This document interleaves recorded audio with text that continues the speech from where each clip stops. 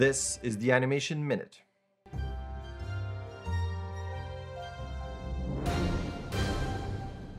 Welcome back to an Animation Minute, and as always, let's start with jobs. There are a lot. So we got Amazon Games, we got Crystal Dynamics, we got Mob Entertainment, The Third Floor, 31st Union, Unreal Staffing, The Believer Company, Limit Break, Worlds, and Worlds Untold. Not sure if that's the same thing.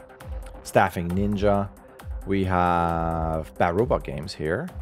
And there's a Cloud Chamber job posting. Creative Circle has one. And Moon Active has also a posting. And last but not least, Superseed Studios is also looking for people.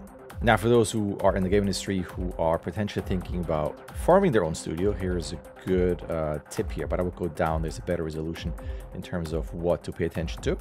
Not that I want to amplify someone's ridiculous uh, comments about the layoffs, but the thread that follows is really interesting in terms of what the work that people do in movies and TV shows and, and game animation can do in terms of inspiration.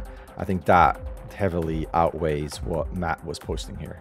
Switching over to animation, this is super cool. I'm not the only one to think so. This has almost 2 million views. It's really, really neat.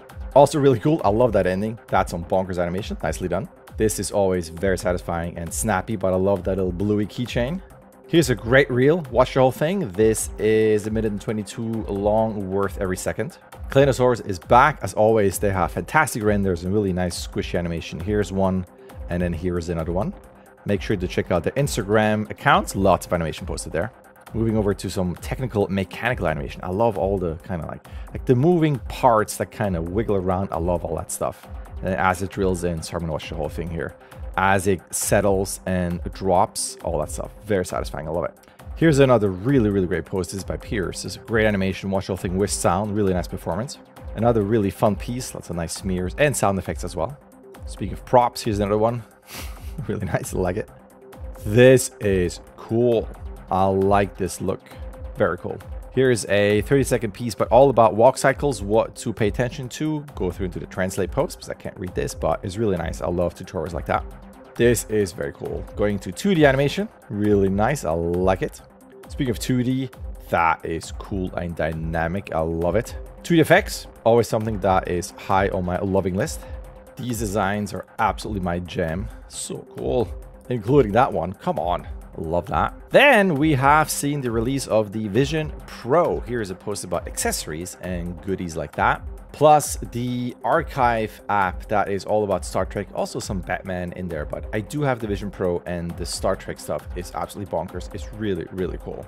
If you follow me on Twitter, you might have seen this. This is about two minutes long, but you can go through and look at models, but also go through so many different, I even like Deep Space Nine is on there, but different bridges and everything. It's so, so, so cool. If you're a Star Trek fan, you got a spatial uh, and you got the Apple Vision Pro, so cool. Speaking of mixed reality, that is cool. I like that, like real-time lighting. That's neat. Then there is a new Ghostbusters trailer for the sequel to the sequel to the sequel, but it's neat. I like it. We're back in New York. That's cool. Nice cast. This is bonkers. Hold on. I'm a massive fan of like little miniature version of these ships. This is great, but I'm a big fan of this design forever, and this is so cool. Here's another tweet by Edward here, and he has a book coming out very, very soon. We have DreamWorks new movie Orion and the Dark that is now on Netflix. It's on my list. I'll hopefully watch it this weekend. And here are new images for That Christmas. This is by Simon Otto.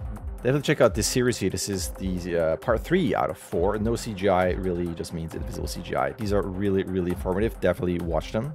And what I talked about last week is now out. The Kickstarter is running now, she says. Great, looks awesome. Speaking of pixels, I love stuff like that. Going from 8 by 8 come on, like, how, I don't know. Pixels will, they will never get old for me. I love it. That's cool too. Nice impact, nice animation. Great pixel art animation. And last but not least, this is cool. I like the combination of the 3D aspect plus 2D flat pixel art. I know this is cool.